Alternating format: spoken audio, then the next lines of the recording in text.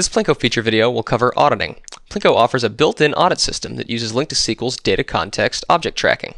Whenever submit changes is called, PLINQO automatically aggregates all the changes being made and uses them to populate an easy-to-read and serializable audit log object that is exposed on the data context. Class and property auditing is configurable using the entity metadata classes. This demonstration will be done using the latest Tracker sample application, which is available for download at codesmith.googlecode.com.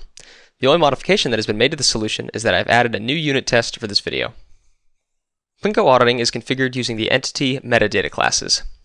When configuring the auditing, entities are inclusive while their properties are exclusive.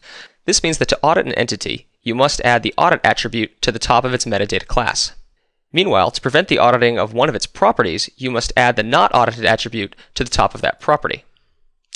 So in the user class, which is audited, the create date and the modified date are not going to be audited because their properties are flagged with not audited. So thanks to the metadata class, configuring auditing with PLINQO is pretty simple. Now, to demonstrate auditing with PLINQO, we're going to step through a series of submit changes with a few entities and see what the audit logs look like. So let's go ahead and run this unit test.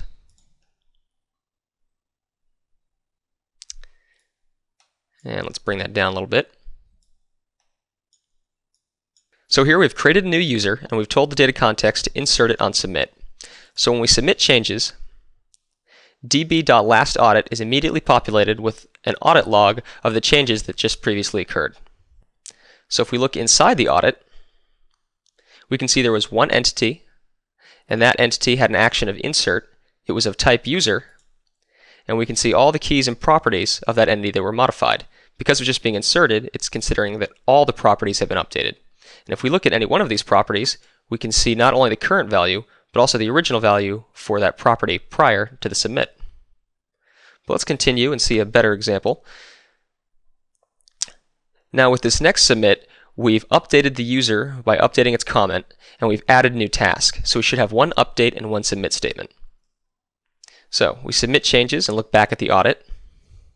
We can see there are now two entities. And also, by the way, on this audit, you can see the date that the audit or that the submit took place right now at 6 o'clock, and you can see the username who was logged into the computer that made the change, in this case, me. So when we look at the entities for this change, we have one submit, and we're submitting a new task. Again, it thinks that all eight properties are new, and so it has them listed. But we also have an action of update against our user, where we change the comment. If we open that up and look at the altered properties, we'll see the comment, which is of type string, and we'll see the current value, and we'll see the original value. So these audits, again, are keeping track of every entity that is being flushed out with the submit change, the type of update that's occurring against the entity, and all the values of all the properties, both new and old.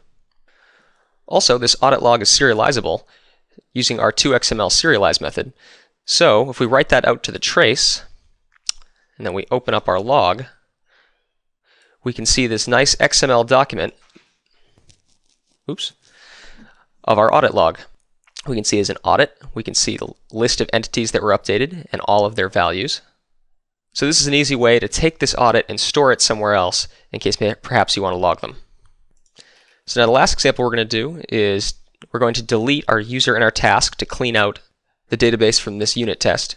So when we submit changes again and look at the audit, we're going to see there are two entities that have been altered, and the actions this time are delete again, against the user and the task.